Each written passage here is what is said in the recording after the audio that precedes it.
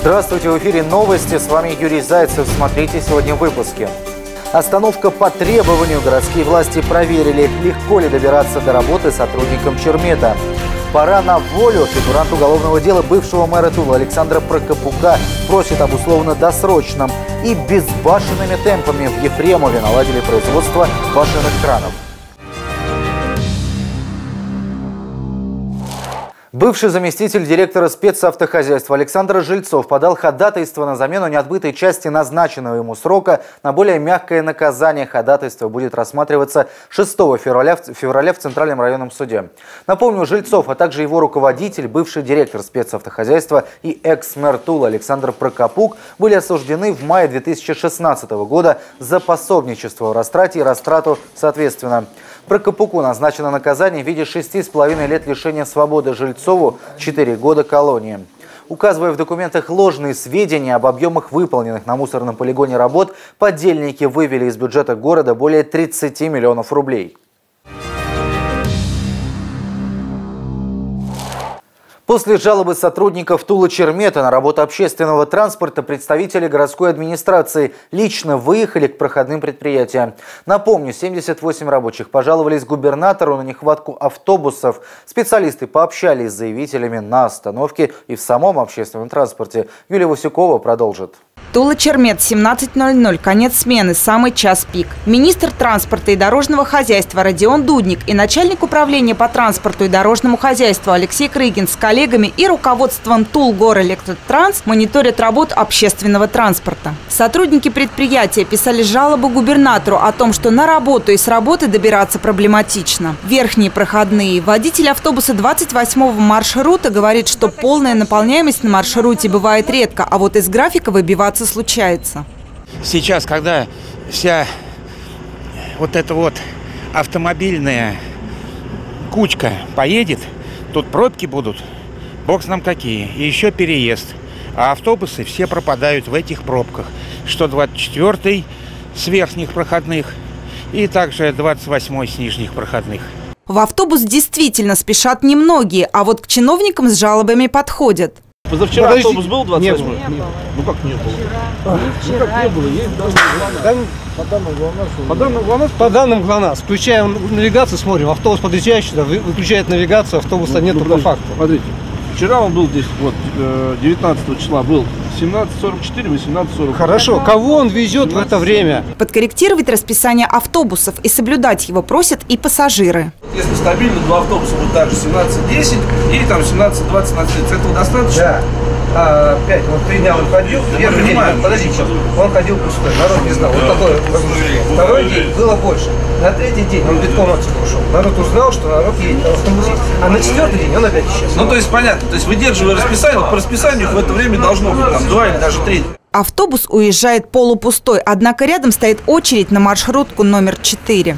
Он идет по Кутузова. Нам неудобно ехать на этом Нам на Металлурговый в город, Нам на нужна Крио. четверка. Он идет долго. А четверка Нам... идет по другому? По Металлургов, да, четверка идет. Нам Но они ходят быстрее, совсем. чем автобусы. По словам водителей маршруток, в час пик график отправлений каждые 4 минуты. Через 40 минут после конца рабочей смены на остановке почти никого нет. Ни людей, ни маршруток. Хотя последние должны работать по этому же графику до 20.00.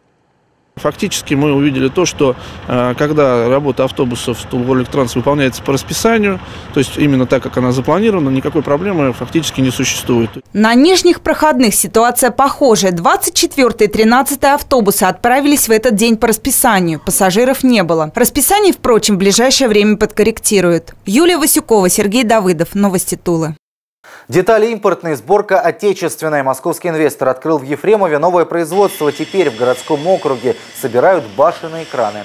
Сегодня на предприятии побывал глава городского округа Сергей Болтабаев. Он отметил, что в прошлом году за счет фирмы удалось привлечь порядка 100 миллионов рублей инвестиций. На этот год в Ефремове спланировано строительство еще трех заводов. Общая сумма инвестиций порядка 5 миллиардов рублей. Уже э, идет э, сотрудничество с тульскими предприятиями, это и с заводом для того, чтобы собрать эти краны. Я думаю, что в дальнейшем э, мы будем помогать данному предприятию, чтобы найти пути сотрудничества с производствами, которые находятся внутри Тульской области. Выездное совещание провел заместитель главы администрации Тулы Владислав Галкин в единой дежурно-диспетчерской службе города. Диспетчеры ЕДДС круглосуточно принимают от жителей города звонки и координируют работу всех городских служб в начале этой зимы. Нововведение программное обеспечение «Снег». Программа позволяет оперативно сообщать всем городским службам и ответственным лицам о жалобах жителей на неубранный снег 48 часов. Срок устранения нарушений по регламенту. Заявки можно оставить по телефонам 47 2034 1391 и 112. Раньше человек э, мог ошибочно обратиться в управляющую компанию по общегородской территории, либо там э, в администрацию города, когда, может быть, следовало сначала обратиться в управляющую компанию. В настоящее время э, единый телефон, куда человек обратился – и уже здесь служба определит исполнителя по устранению нарушений. Параллельно, значит, по системе, по, по WhatsApp мы отправляем смс для дублирования всем должностным лицам. То есть, а, значит, должностное лицо, которое отвечает за уборку снега, а, может посмотреть в программе информацию, и у него будет еще плюс смс для того, чтобы осуществлять контроль. Новому Тульскому перинатальному центру быть. Разговоры о том, что надо расширяться, идут уже несколько лет, но денег на это найти не смогли. Решение о строительстве было принято после визита в Тулу в 2016 году Владимира Путина. Президент тогда пообещал сделать все от него зависящее, чтобы дело сдвинулось с мертвой точки. Итог – более 2 миллиардов рублей будет выделено на строительство нового корпуса перинатального центра в Туле. Открытие запланировано на 2021 год. Как обстоит дело в существующих корпуса, где в год принимают роды у 4 тысяч женщин, расскажет София Кириллова. Здесь действительно творят чудеса. Ренат появился на свет на два месяца раньше срока. Теперь подрастает в таком вот инкубаторе. Крошечные ручки осторожно обнимают маму, а она радуется, глядя, как за две недели сын подрос. Самое главное, что предоставляется шанс с ребенком быть вместе, ухаживать за ним, смотреть. Так все хорошо, все прекрасно. Для специалистов Тульского перинатального центра подобные случаи в порядке вещей. В год здесь принимают 4,5 тысячи родов, большинство из которых тяжелые, но врачи справляются. На пяти этажах операционные, лаборатории, кабинеты диагностики, 11 отделений на 255 коек и боксы для малышей, которым нужен особый уход. И у нас на сегодняшний день есть абсолютно все технологии, чтобы помочь семье иметь ребеночка и в обследовании, и в лечении, и в дальнейшем продвижении по жизни.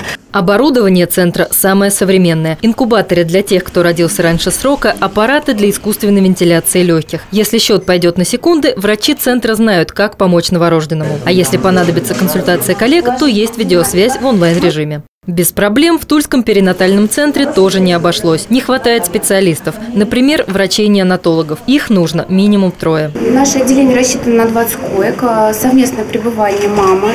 В основном к нам дети поступают из отделения детской реанимации на выхаживание. Мы выхаживаем детей с экстремально низкой массой тела. Ну, Э, также детей из детского отделения. В рамках специальной госпрограммы перинатальные центры сейчас строят по всей стране. В ближайшие годы появится 90 новых медучреждений. И Тула не исключение. Задачу построить новый корпус перинатального центра Алексей Дюмин поставил в послании депутатам областной думы. Деньги уже есть – 2 миллиарда рублей. Работы должны быть закончены в 2021 году. В Туле установлена памятная доска Владимиру Высоцкому. Она появилась на здании ДК «Тула-Машзавод». Автором памятника стал скульптор Виталий Казанский. В 1966 году поэт был с гастролями театра на Таганке в Туле и выступал в стенах ДК. Решение об остановке памятной, памятной доски было принято Тульской городской думой в конце 2017 года. Бронзовая мемориальная доска была торжественно открыта под песню Высоцкого «Я не люблю». Высоцкий как при жизни был народным поэтом, музыкантом, бардом, так и сейчас он остается абсолютно народным персонажем. И, собственно, то, что сегодня произойдет, стало возможно благодаря поддержке тульского народа Высоцкого. Для меня огромная честь, радость сегодня присутствовать при этом знаменательном событии для нашего города, области, для, для всей России. Открытие мемориальной доски легендарному Владимиру Высоцкому – Тульский арсенал может перейти нападающий сборной Замбии Брайан Вилла. Об этом пишут СМИ африканской страны. 23-летний футболист продолжительное время не выходит на связь со своим клубом Platinum Stars из Южноафриканской республики. И замбийское издание связывает это с переходом в стан канониров. Вилла провел за сборную Замбии 9 матчей и забил 8 мячей. Контракт с клубом из ЮАР нападающего до 2020 года. Однако, по сообщениям СМИ, он может покинуть Platinum Stars на правах свободного агента. Если трансфер состоится, то игрок станет уже третьим замбийцем в команде Миодрага Божевича после Эванса Кангва и Стапилы Сунзу. Более подробно о жизни Тулы области на нашем сайте tsn24.ru. Ну а я с вами прощаюсь. Всего хорошего.